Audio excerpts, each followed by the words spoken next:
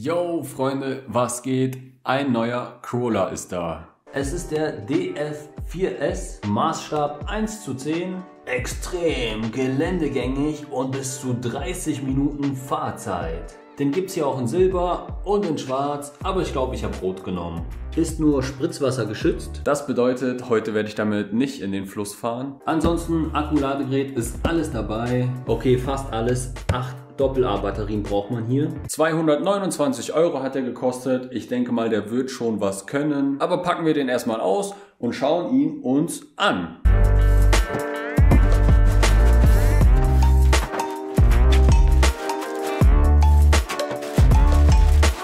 Akku stecke ich erstmal aufladen, damit wir möglichst schnell dann losfahren können. Wie es aussieht, müssen wir den auch noch ein bisschen zusammenbauen. Zum Beispiel hier auf die Karo kommen dann noch die Träger drauf und da oben befinden sich dann auch die Scheinwerfer, die da dran angeschlossen werden. Das Rad müssen wir bestimmt auch noch irgendwo befestigen, das Ersatzrad. Entschuldigung. Hier noch Front- und Heckstoßstange. Wofür das ist, keine Ahnung aktuell, um ehrlich zu sein. So sieht die Funke aus ist mal was anderes und boah, ganz schön groß, könnte auch fast als Schlagring durchgehen. Die Reifen sind sehr weich, die kleben auch hier förmlich auf dem Tisch. Das sind schon mal gute Voraussetzungen. Ordentliche Dämpfer hat er hier auch. Ansonsten sieht hier drin alles besser aus, als ich erwartet habe. Hier nochmal von unten. Ich glaube, das wird heute spaßig, aber erstmal muss ich den jetzt zusammenbauen. So oft habt ihr mir in den Kommentaren vorgeschlagen, dass ich mir den TRX4 von Traxas bestellen soll. Das habe ich nun gemacht in der G-Klassen-Edition. Kurze Frage an dieser Stelle. Habt ihr Bock, dass ich ein XXL-Video dazu mache? Mindestens 20 Minuten lang. Dann lasst einen Daumen hoch da und wenn dieses Video 10.000 Daumen hoch erreicht, wird es mindestens ein 20-Minuten-Video zum TRX4 geben.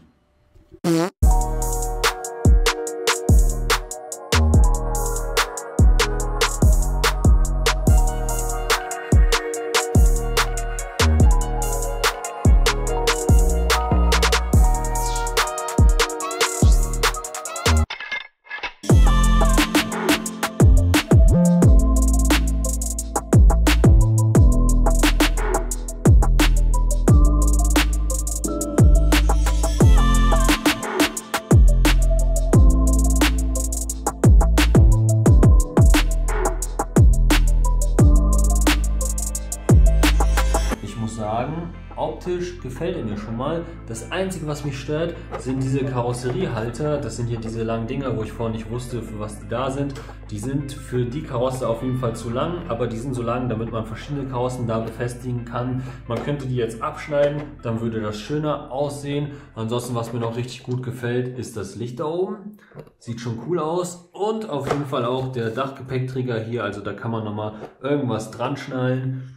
Also im Großen und Ganzen finde ich, sieht ja schon ganz cool aus. Ob er auch cool fährt, finde ich jetzt heraus.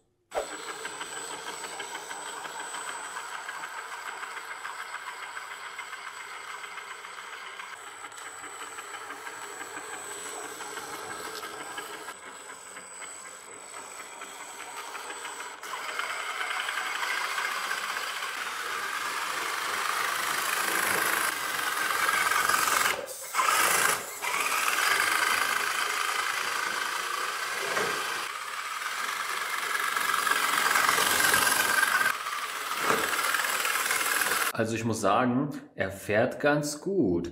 Wir machen jetzt erstmal den Winkeltest. Ich gucke, wie viel Grad er bergauf fahren kann. Dafür habe ich einfach so eine Styroporplatte genommen und die steht jetzt ähm, 20 Grad Winkel nach oben und ich fahre einfach mal hoch und gucke mal, ob er das schaffen wird. Aber das sollte er noch ohne Probleme schaffen. Schaut euch das an. Sieht auf jeden Fall wirklich sehr geschmeidig aus. Was auch wirklich sehr gut an diesem Crawler ist, dass er nicht rückwärts runterrollt, wenn man aufhört Gas zu geben. Ich finde, das muss schon ein Crawler haben. Aber schaut euch das an. 20 Grad, sieht ganz gut aus. Jetzt habe ich 25 Grad. Schaut euch das an. Richtig schön flüssig. Als nächstes 30 Grad Steigung.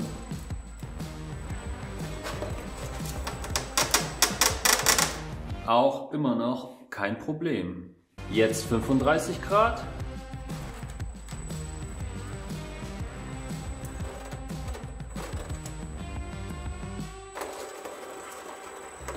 Ja, auch kein Problem. Und weiter geht's mit 40 Grad. Es wird immer steiler. Ja, schaut euch das an. Aber selbst da kommt er auch noch immer Proble äh, ohne Probleme hoch. Jetzt sind wir schon bei 45 Grad, also es wird immer steiler. Bin mal gespannt, ob er das auch ohne Probleme schaffen wird. Ja, das sieht noch gut aus.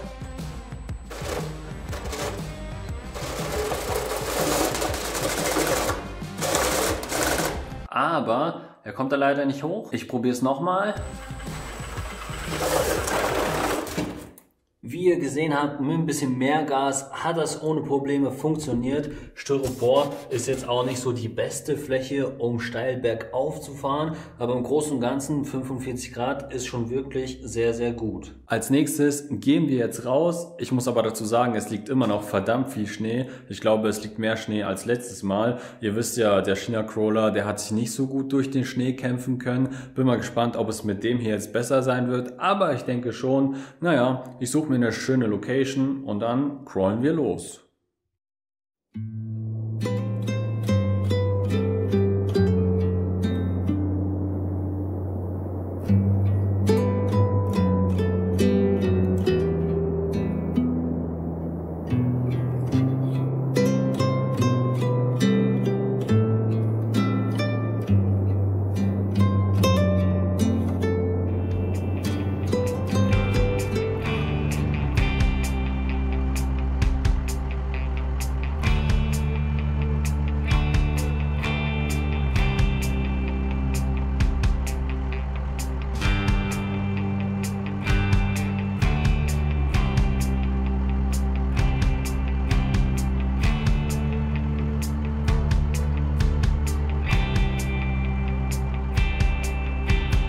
Wie ihr sehen könnt, es schneit wirklich heftig und der Schnee ist hoch.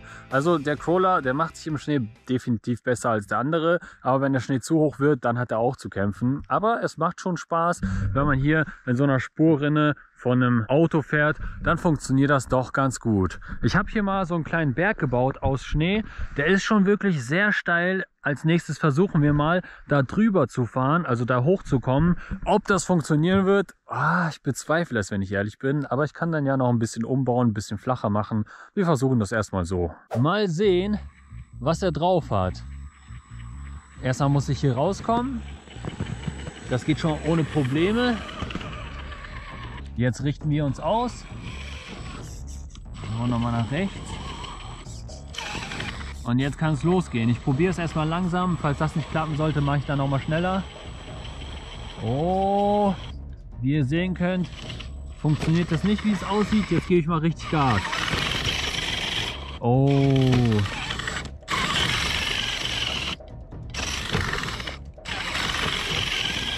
Nee, er hat keine Chance. Er fährt sich da eher fest. Ich versuche jetzt hier nochmal was zu bauen. Aber schaut euch das mal an, wie hoch der Schnee ist. Das ist schon eine ordentliche Decke hier. Ich fahre da jetzt hoch. Ein bisschen hat er zu kämpfen, aber er macht das. Er kämpft sich durch. Und da ist meine selbstgebaute Bahn auch schon zu Ende. Und weil es so schön ist, fahre ich jetzt los kaufen wir eine Schaufel und dann bauen wir hier im Schnee mal so eine richtig schöne Bahn, dass wir auch ordentlich crawlen können. Wenn es schon mal schneit, sollte man das mal ausnutzen. Meine Crawlerbahn ist fertig. Also ich habe hier einfach ein bisschen Schnee weggeschaufelt, wie man sehen kann. Dann geht es berghoch und da hinten ist ein Megaberg. Ich denke, da wird er es nicht schaffen, hochzukommen. Aber wir schauen erstmal, wie weit er so kommt. Ich lege los.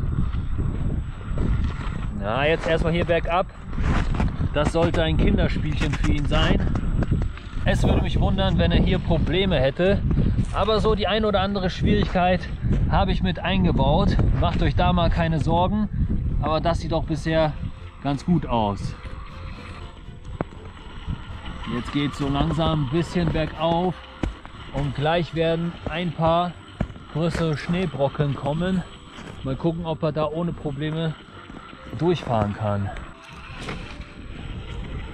diese Schneebrocken meine ich hier. Oha, er versucht ihn zu besteigen, aber ich glaube, so wird das nichts. Wir müssen den so ein bisschen umfahren. Ich versuche das Ganze mal. Oha, jawohl. Er kämpft sich langsam durch, aber nee, das geht so nicht. Nochmal zurück. Jawohl, er kommt, er kommt, er kommt. Okay, er kommt doch nicht. Doch, doch, doch, doch, er schafft's. Er hat's durchgefressen. Ja, Mann, nice. Aber hier wird es jetzt richtig hart. Hier kommt nämlich der Megaberg. Ich glaube, da wird er es nicht hochschaffen. Aber ich lasse mich auch gerne vom Gegenteil überzeugen. Ne? Zack. Das sieht momentan noch gut aus. Aber jetzt, jetzt hat er zu kämpfen. Oh mein Gott.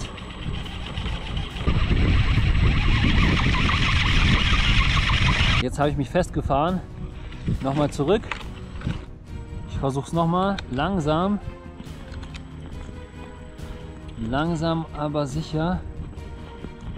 Und schon wieder an derselben Stelle bleibt er stecken. Wir probieren es mal mit ein bisschen mehr Gas.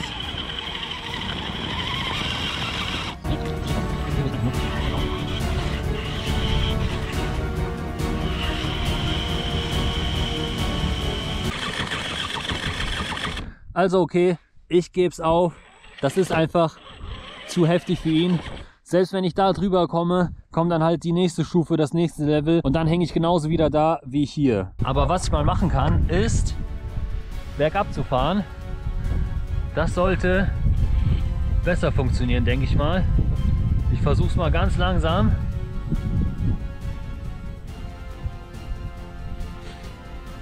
Oh oh. Oh oh. Oh. Komm nochmal. So ganz langsam, ganz, ganz langsam. Oh, oh, oh, oh. Jawohl, ich glaube, das wird jetzt besser. Oh, wow. Nochmal, das geht besser.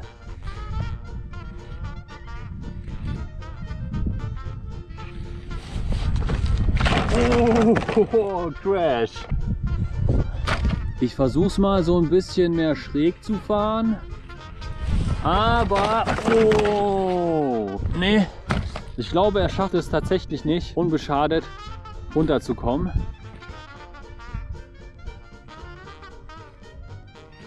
Denn wenn er erstmal hier ins Rutschen kommt, wow, fast, fast, das war schon knapp. Komm, letzter Versuch hier.